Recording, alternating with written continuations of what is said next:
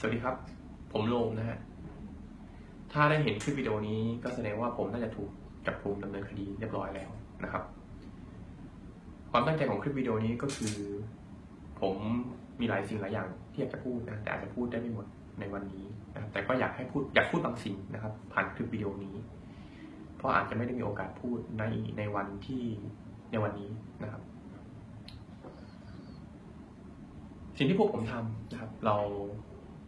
เราภาคภูมิใจกับมัน ผมมีความยินดีอย่างยิ่งนะครับ ที่ได้เกิดในแผ่นดินนี้ ในแผ่นดินที่ผมรัก ผมมีความภาคภูมิใจ ที่ผมได้เกิดในแผ่นดินที่แม้ในยามเวลานี้ จะอยู่ในวิกฤต ไม่เป็นประชาธิปไตย ถูกปกครองโดยคนไม่กี่คนที่เข้ามา ภายใต้หน้ากากแห่งความดี แต่แสวงหาผลประโยชน์ต่างๆ มากมาย จากพี่น้องประชาชนชาวไทย ผมมีความภาคภูมิใจ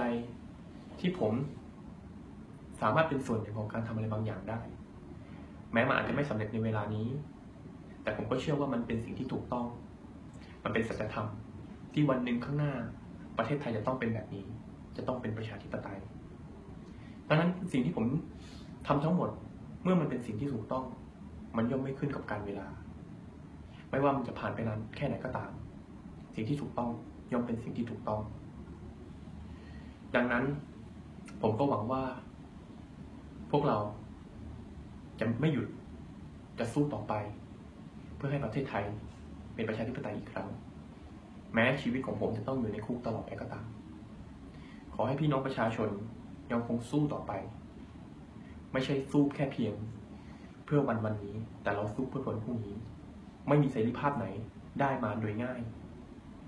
เราประวัติศาสตร์พิสูจน์มานานมากพอแล้วว่า ผู้ปกครอง